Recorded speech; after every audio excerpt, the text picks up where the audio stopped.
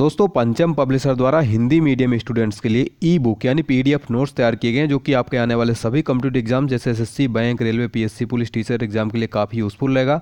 दोस्तों, इस नोट्स में खास विशेषता यह है कि इसमें आपको one liner question general science के जनरल अवेयरनेस के करंट अफेयर्स के मिल जाएँगे।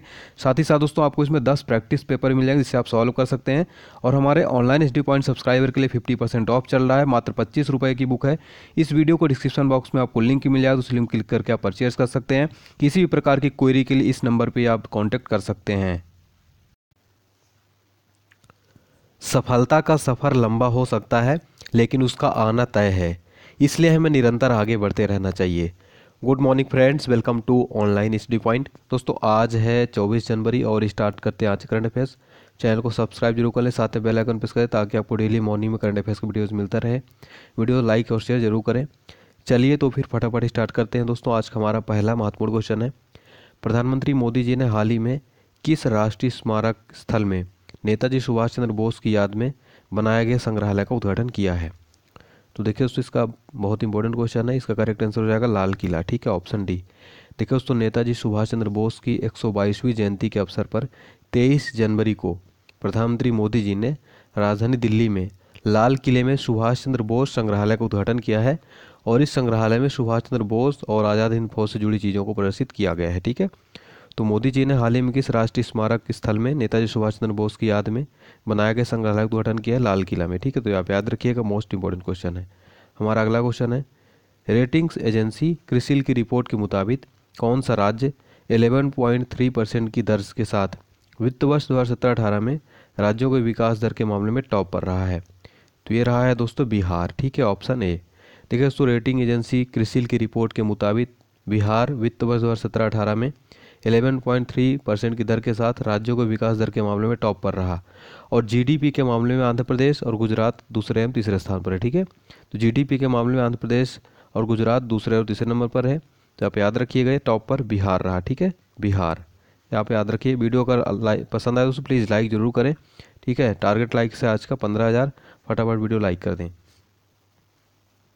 क्वेश्चन नंबर थर्ड है U N C D C मरुस्थलीकरण से लड़ने के लिए संयुक्त राष्ट्र अभियान कॉन्फ्रेंस ऑफ़ पार्टीज़ के चौदहवें सत्र का आयोजन किस देश में आयोजित किया जाएगा?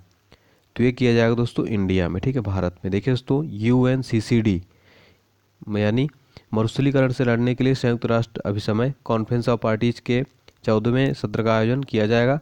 इस सत्र में मरुस्थलीकरण तथा भूमि के निम्नीकरण के मुद्दे पर चर्चा की जाएगी, ठीक है। तो कहाँ पर आयोजित किया जाएगा? इंडिया में, ठीक है, भारत में। क्वेश्चन नंबर फोर्थ है। सुप्रीम कोर्ट द्वारा दिए गए फैसले के अनुसार न्यायिक अधिकारी पद के लिए सुनाई और देखने में आयोग्यता की वैध सीमा कितना प्रतिशत निर्धारित है?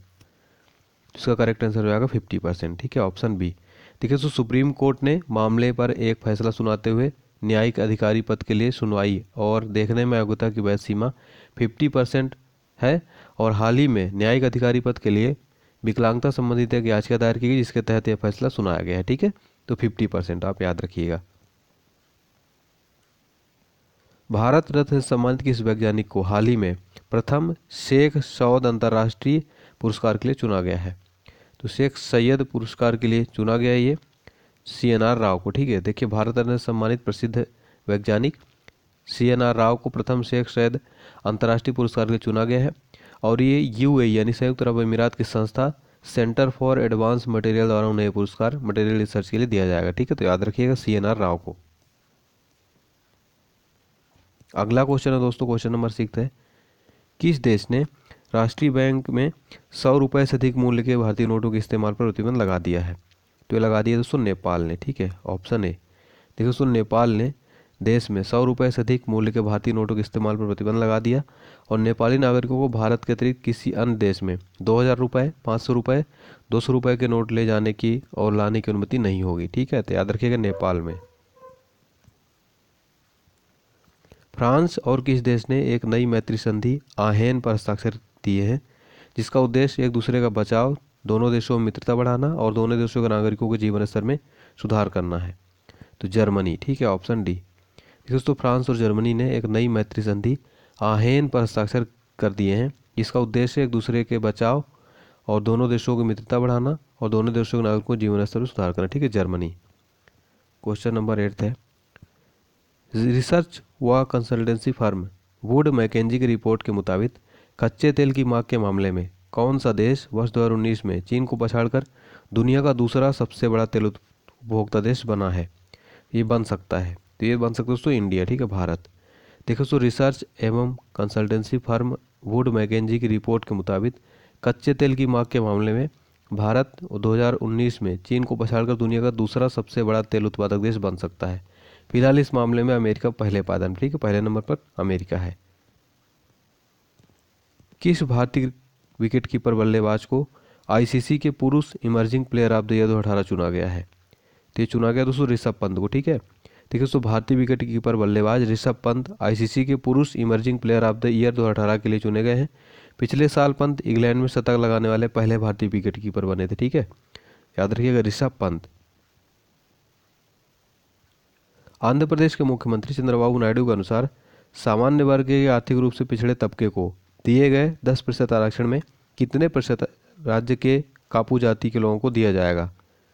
तो दिया जाएगा फाइव परसेंट ठीक है? ऑप्शन सी देखिए दोस्तों, आंध्र प्रदेश के सीएम चंद्रबाबू नायडू ने कहा है, सामान्य वर्ग के आर्थिक रूप से पिछड़े तबके के लिए दस प्रतिशत आरक्षण में से पाँच प्रतिशत राज्य के कापू जाति लोगों को दिया जाएगा, ठीक है?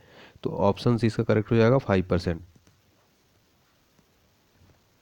अब देख लेते हैं दोस्तों लास्ट वीडियो का आंसर मैंने क्वेश्चन पूछा था, सिंगापुर अंतर्राष्ट्रीय टेनिस महासंघ का पच्चीस हज़ार डॉलर का महिला टूर्नामेंट किसने जीता है?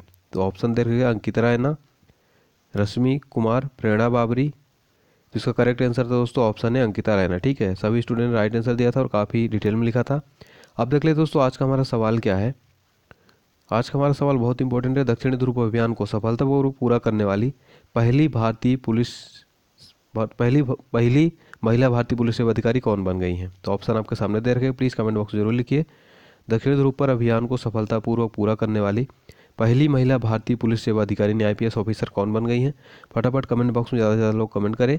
वीडियो लाइक करें शेयर करें चैनल को सब्सक्राइब करें। तो दोस्तों, मिलते हैं नेक्स्ट वीडियो के साथ। तब तक के लिए आप ध्यान रखिए अपना। स्वस्थ रहिए, व्यस्त रहिए, मस्त रहिए। ऑल द बेस्ट जय हिंद, जय भारत।